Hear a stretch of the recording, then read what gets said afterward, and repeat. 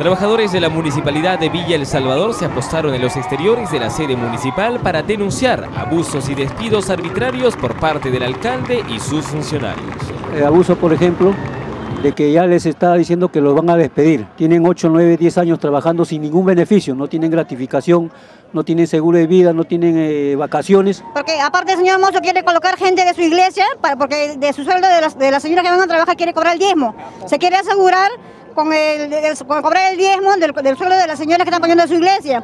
Y a nosotros nos quiere despedir a todos. Nosotros somos madres solteras de limpieza, las que trabajamos en limpieza pública y necesitamos ganarnos el centavo. Mire, yo he quedado invalidado, eh, me encuentro en recuperación, no se me ha pagado el mes de febrero. Eh, el mes de marzo me tiran la pelota, nadie recibe mi recibo por honorario. Nadie recibe mi RUC, lo que quiere decir que no me van a pagar febrero ni marzo. Y no, pues hoy nos hace trabajar del sábado, del sábado hasta las 4 o 5 de la tarde, tirando pico y lampa.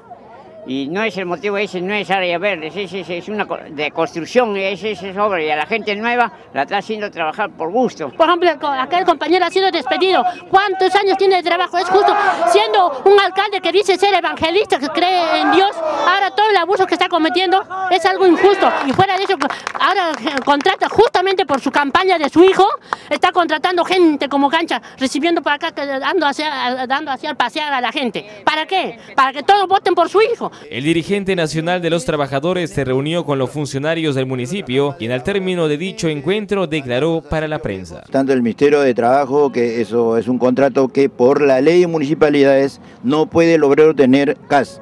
Es trato eh, eh, directo y a las 7.20 a las 7.28.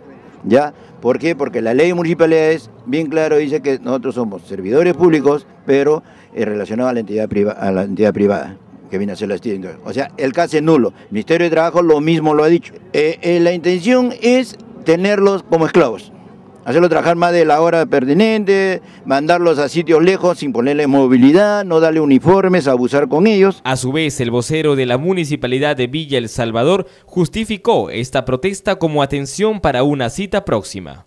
Amigos eh, trabajadores que se encuentran afuera de la municipalidad, lo que han venido es a presentar un petitorio para que se les atienda, básicamente una cita para interponer los puntos que ellos desean tratar.